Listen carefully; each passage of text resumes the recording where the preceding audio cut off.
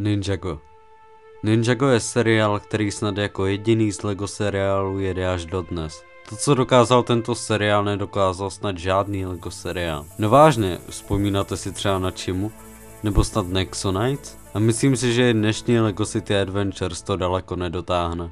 Všechny tyto seriály skončily, jelikož o ně nebyl takový zájem jako o Ninjago. Proto si myslím, že si každý z vás jednou musel klást otázku, kdy dojde časy na Ninjago? Z první řady si musíme uvědomit, že Ninjago a Ninjago mistři Spinjitzu jsou dva rozdílné seriály. Ninjago mistři Spinjitzu je seriál, který už dávno skončil, a to v roce 2019, poslední sérii z Ony. Zatož Ninjago začalo teprve celkem nedávno, Seriál Ninjago navazuje na seriál Ninjago mistři Spinjitzu, ale už je to úplně něco jiného. Animace je jiná, scénáristi jsou jiní, dokonce i český dubbing začíná trošku ztrácet naději. Proto si dneska řekneme, jestli tento seriál někdy v blízké době skončí. A jak bych si já přál konec Ninjaga. Myslím si, že Ninjago má ještě nějakou špetku naděje, a myslím si, že by ještě minimálně dalších pět let mohlo pokračovat. Ninjago má totiž pořád spoustu fanoušků a celkem dost velkou komunitu.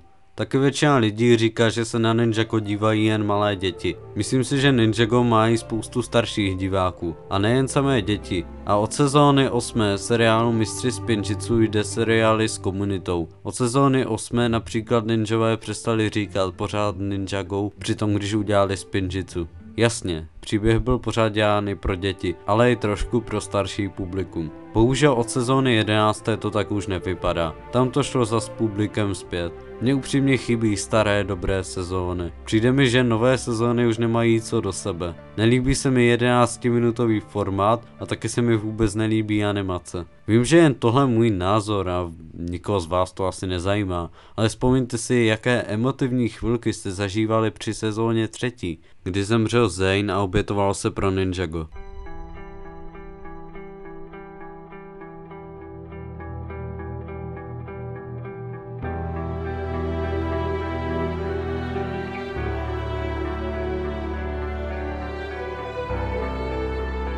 Nebo při sezóně druhé, kdy Garmadon po bitvě nemá v sobě už žádný kousek zla.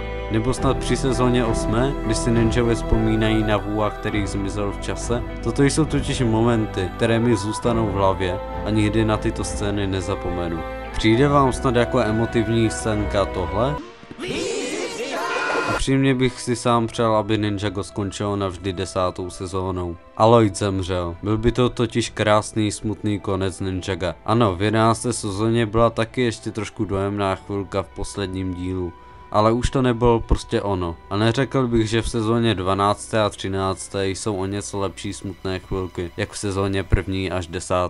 Sám bych si přál konec Ninjaga nějakým hezkým způsobem a doufám, že to bude stát za to. Líbil by se mi konec, kde by se většina ninjů obětovalo pro Ninjago. A Zayna Pixel by třeba přežili, ale nějak by se na konci chytili za ruce a navždy by se vypli. Takhle bych si upřímně já přál konec Ninjaga.